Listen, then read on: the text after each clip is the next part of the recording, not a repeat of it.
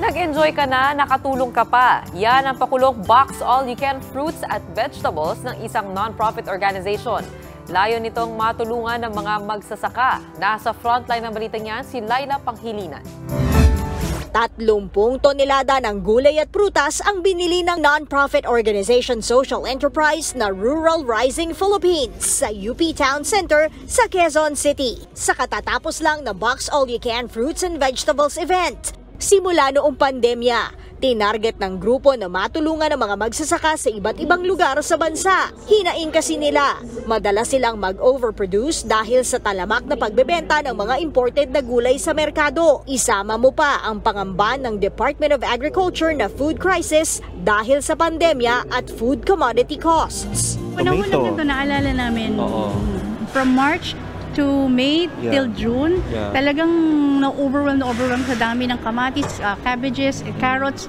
Pero ngayon po, parang nakikita namin yung trend na kumukonte ang production ngayon. Yes, oo. Ah, it's it's an, uh, something uh, we realized very recently lang. Yeah. But at the same time, hindi ko alam kung anong alarming, kung yung overproduction or underproduction. Kasi ibig sabihin nun, baka mamaya dumating panahon wala na tayong makain.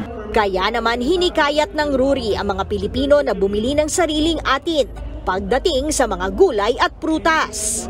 Ang message hindi na so much about ito, bilhin natin kasi overproduction at Oo. kailangan ng maramihan. More so like, okay, awareness na may deeper problem at may Yeah. deeper need for us to to be aware Yes. kung paano natin matutulungan ang agri-sector. And our message is the same. Huwag bumili ng hindi local, huwag bumili ng smuggled, huwag bumili ng may formalin. Eat healthier. Sana organic din.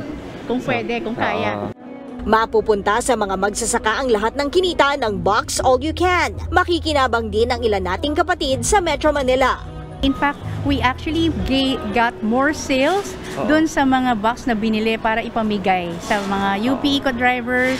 TODA, ah, Mga nasunugan, Nasunugan sa Village A. Sa Box All You Can event, binibigyan ng shoppers ng 14 by 14 na kahon. Maaaring hakutin ang kahit anong nakadisplay ng mga first-class rescue vegetables. May 10 minuto sila para punuin ang kahon kapag tumunog na ang buzzer.